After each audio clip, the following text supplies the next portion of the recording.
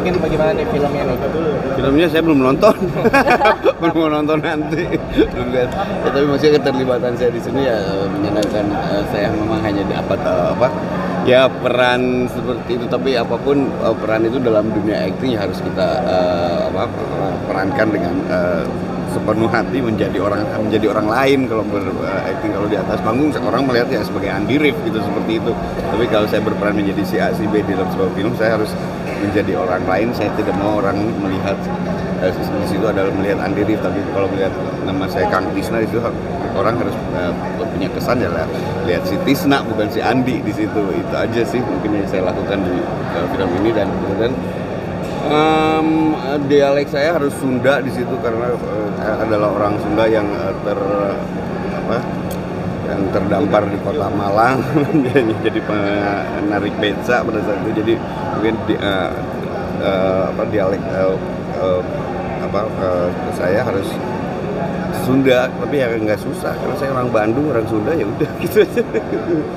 Tapi susah nggak sih Kang? Apa tuh? Untuk peranin ininya apakah Hmm, Ini ya maksudnya, ya maksudnya, ya, ya, saya itu saya harus jadi orang yang sangat menarik beca yang polos, eh, lempeng gitu orang itu nggak nggak banyak nggak banyak eh, apa nggak banyak eh, pola tapi yang ya yang polos yang lugu gitu aja gitu yang menarik beca yang lugu itu jadi yang diminta sama Hadra seperti itu. Sekarang kalau peran Kang Andi adalah ini karakternya seperti ini.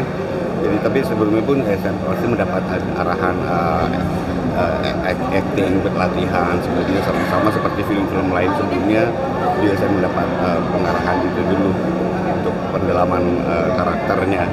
Itu aja. Jadi, Mana lebih nyaman jadi musisi kah atau menjadi aktor? ya kalau ditanya itu pasti mau jadi musisi karena saya terlahir jadi musisi ya.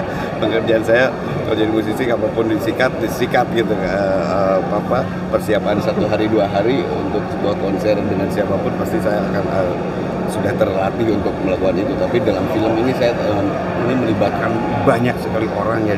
Timnya tuh luar biasa ya dari pemain lain kru eh, semua sampai Uh, ya banyak sekali aku kalau di film di kredit atau tuh ditulis tuh sebanyak itu gitu. saya tidak mau satu orang terpeleset aja di situ akan membuat uh, karya tersebut jadi tercoreng jadi buruk jadi jadi saya harus benar-benar siap saya tidak mau mengecewakan tim ya saya harus memberikan yang terbaik ya yang terbaik yang hanya sebatas itu yang saya bisa di film ini. Tapi ya saya sebenarnya sangat puas menyenangkan karena timnya ini menyenangkan bekerja apa mereka ada tim yang sangat happy dalam be- be- bekerja relax selalu uh, lucu itu jadi tidak membosankan berapa hari nginep untuk syuting. Tapi ya, eh, saya merasa ada dalam keluarga baru. Bang, ini film yang keberapa sih, Bang? aduh saya lupa ya itu berapa Eh, kalau mungkin eh, ada kalau di film yang misalnya peran utama tuh mungkin saya baru ada beberapa film ya ada, ada eh, satu dua belum mungkin jadi hanya peran-peran seperti di film ini sudah sekitar sekitar tujuh film mungkin saya kalau orang eh, tidak eh, tidak sadar men- melihat saya ada di film ya ada sekitar ada sudah tujuh film yang sudah saya lakukan.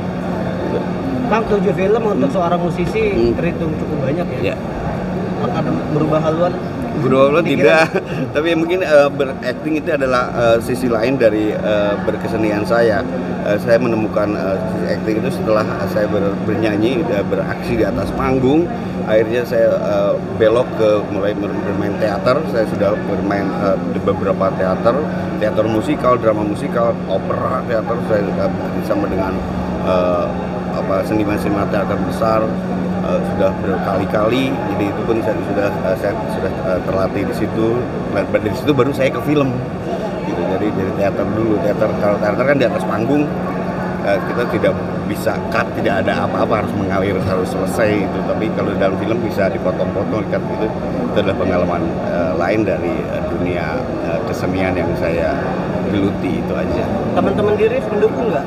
sangat mendukung mereka sangat mendukung mereka mempersilahkan dan eh, kalau ber- biasanya sih mereka datang juga nonton premiernya ikut tonton. Tapi hari ini mungkin karena kita eh, sekarang se- besok udah persiapan manggung konser di Bandung jadi mereka udah pada di Bandung baru saya yang tersisa di sini jadi nggak bisa datang Gitu ya. Tadi kan eh, mungkin keunikannya kalau main film di horor ini Hmm. kan mungkin tadi kayak nemu ada yang kesurupan gitu. Kalau manggung sendiri atau musik sendiri seperti apa? Ada keunikan? Banyak. Banyak kalau udah konser-konser di daerah tuh dapat dapat hotel-hotel yang lumayan eh, spooky gitu lumayan itu ya itu juga banyak banyak sekali hal-hal eh, tersebut terjadi untuk eh, semua grup band pasti merasakan merasakan itu.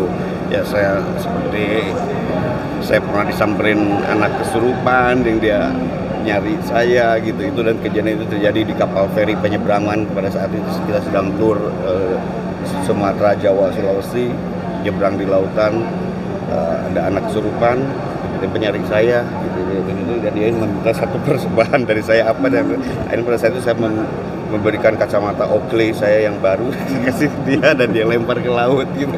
Cuma itu tapi kalau detail ceritanya itu memang serem banget dan itu bisa ditanya ke teman-teman band lain yang tur itu mereka ngelihat kejadian itu soal kejadian horor-horor di kamar hotel ya sering juga. Tapi saya sih adalah kalau tadi tanya saya takut setan atau saya, saya tidak orang yang termasuk di band termasuk orang yang paling cuek. Tidak eh, tidak percaya yang seperti itu. Apa eh, apa saya saya, saya saya lebih kuat dari mereka saya lebih senang saya ada orang ganggu ya saya bentak lagi pakai bahasa anjing saya goblok kok ganggu aing kayak itu saya kayak begitu kita aja Itu ke bawah sampai ke atas panggung nggak? Iya. Alhamdulillah kalau kota panggung sih nggak pernah kejadian eh, apa eh, karena semua eh, segahar-gaharnya band seperti eh, band dibilang band rock di atas panggung sebelum naik panggung setelah eh, selesai atur panggung kita selalu melakukan eh, doa apa izin-izin dulu ke kita ke, ke manggung pasti dapat tempat-tempat baru kita yang temuin di kota apa venue apa. Kita tidak mengenal area itu pasti saya selalu eh, assalamualaikum dulu minta apa permisi permisi dulu untuk eh, apa ya untuk melakukan pekerjaan di situ supaya lancar dan aman ya semuanya alhamdulillah sampai hari ini tidak pernah kejadian grup di atas panggung. Cuma gangguannya itu aja di tempat nginep paling gitu biasanya udah badan udah capek udah gitu kan badan sudah itu juga sama orang lain gitu. Itu aja sih. Tadi punten perihal pa- eh, profit gimana nih Kang? Untuk pendapatan lebih menarik di dunia karya suara apa film nih? ya hampir hampir sa- sama hampir sama. Kalau ditanya itu saya bilang ya sama cuma berbeda pekerjaannya. Ke berbeda pekerjaannya eh, memang untuk untuk film ini butuh waktunya cukup panjang gitu ya mungkin hanya hanya berapa scene aja bisa di eh, bisa di bisa ngambil tiga hari saya di waktu tiga hari. Tapi dalam manggung saya bisa tiga hari tiga panggung saya. Gitu. tiga panggung tiga berarti ya, ya kali tiga aja gitu. Tapi saya tidak pernah memikirkan itu. Selama saya suka saya senang melakukannya saya akan lakukan. Misalnya misalkan film pun eh, saya tidak semua tawaran film saya terima gitu. Karena saya kalau tidak saya yakin tidak saya yakin kalau saya yakin saya mau. Kalau saya kurang percaya diri dengan eh, peran yang harus saya eh, perankan lebih baik saya mundur jangan. Kalau ragu-ragu nih jangan. Saya tidak mau mengecewakan ya? tidak mau mengecewakan eh, tim besar itu yang eh, dengan sengaja bekerja saya mengecewakan karena saya tidak tidak sepenuh hati melakukannya karena saya tidak eh, ya, tidak ya, tidak merasa tidak cocok dengan jangan. Kalau saya merasa oke oke oke. Contohnya apa Kang? Peran yang cocok itu? Ya ya nggak ada. Makanya saya nggak nggak makanya eh, nggak saya terima. Mungkin ya peran-peran yang saya bilang aduh saya nggak bisa nih meranin hal itu. Karena saya tuh termasuk eh, kalau berperan saya benar-benar ingin menjadi orang yang berbeda banget. Gitu. saya biasanya pa- pasti saya di tempat jadi orang eh, di teater sudah- pasti jadi tokoh antagonis. Atau jadi tokoh yang nyebelin yang eh, selengean mungkin bisa dilihat di film Wiro Sablong. Saya jadi pendekar mabuk di situ. Yang yang ngehe bener-bener di sini saya menjadi orang yang polos gitu, eh, tukang beca kemarin di film Balada Si Roy kemarin saya jadi tukang mie baso gitu. Ya, bener-bener kayak peran yang eh, saya butuh eh, ingin eh, total berbeda dari orang melihat sosok Andi Rif se- sebenarnya gitu kalau kalau dia jadi suruh peran ganteng sih ya nggak mau, mau saya udah ganteng gitu. Iya, iya senang. Kalau apalagi dengan tim yang seperti Mbak Hadra ini tim yang, luar biasa ini saya pasti akan oke oke aja kalau cocok. Karena itu aja. Kang, Kang, uh, minta izin juga nggak sih Kang ke teman band kalau pengen ngambil peran film gitu kan? Iya, Takutnya bentrok ya, gitu. ya, betul, iya, tapi eh, yang lebih ini adalah itu ada kesulitan dari tim produksi mereka juga. Mereka harus mereka, mereka yang harus mencocokkan jadwal dengan jadwal saya, bukan saya yang harus mengikuti jadwal mereka.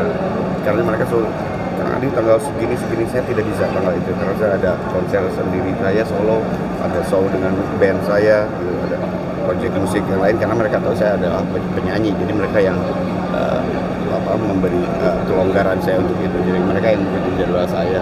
Dan itu dilakukan oleh eh, tim ini dengan menyenangkan. Ah, Itu aja. sedikit dong